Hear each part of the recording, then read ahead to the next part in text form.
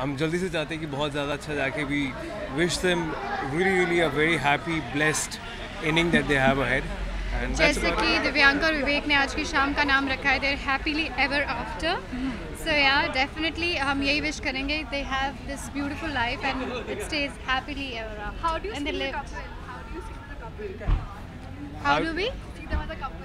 I think they make a wonderful couple, yeah. They make a very good couple, and now I'm going to see them together uh, after the marriage for the first time. So I'm pretty, we're pretty looking forward to that. We're looking in forward fact to that. Divyanka and Vivek uh, their reception in Chandigarh was exactly on the same venue as our wedding Yeah.